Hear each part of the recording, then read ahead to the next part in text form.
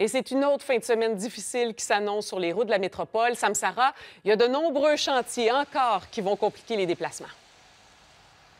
Oui, tout à fait. Malgré le fait qu'il y ait moins d'entraves qu'à l'habitude, euh, que je vous annonce normalement le week-end, eh bien, cette fin de semaine, euh, les problèmes seront plutôt situés dans le centre-ville de Montréal, puisqu'un tronçon euh, de, l'autoroute Ville-Marie est complètement fermé à la circulation. Donc, la circulation vers le centre-ville de Montréal est plutôt difficile. Il y a également des travaux qui se font sur l'échangeur Saint-Pierre, également à l'autoroute 40, là, qui causent des retards pour les Regardons ensemble notamment ces tableaux qui illustrent ces entraves euh, que vous pouvez euh, voir apparaître à l'instant. Dans l'échangeur Saint-Pierre, la bretelle de la route de l'autoroute 20 sera complètement fermée euh, donc ce soir minuit jusqu'à lundi 5 heures.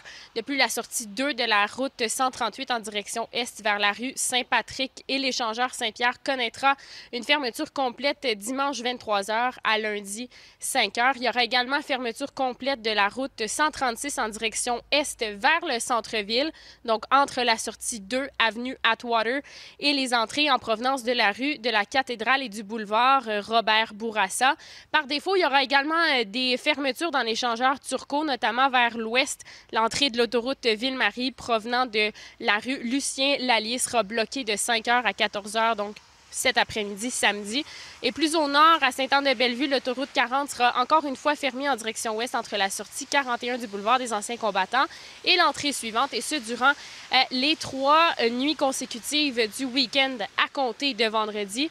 Un petit peu plus tôt aujourd'hui, Véronique, on s'est rendu à l'aéroport euh, de Montréal et on a parlé à quelques chauffeurs de taxi qui, on le sait, vivent cette situation-là, vivent les entraves, vivent les bouchons de circulation. Voici ce qu'ils avaient à dire.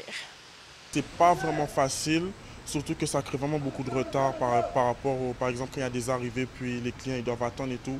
Genre, c'est pas vraiment facile, ça crée des détours. Par exemple, aussi, ça augmente les prix.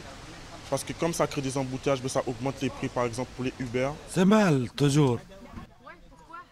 Beaucoup de construction pour rien. C'est très difficile pour nous. Parce que c'est tout d'un coup qu'on a aperçu que la circulation est complètement détériorée. Donc, bien qu'il y ait moins d'entraves sur le réseau autoroutier de la grande ville de Montréal, ben, vous n'avez pas fini de voir euh, des cônes oranges comme celui-ci. Bien évidemment, on vous suggère d'aller euh, sur le site de Mobilité Montréal pour connaître les détours euh, et prévoir vos déplacements. Et des cônes roses également, Samsara. Orange et rose. Merci, à bientôt.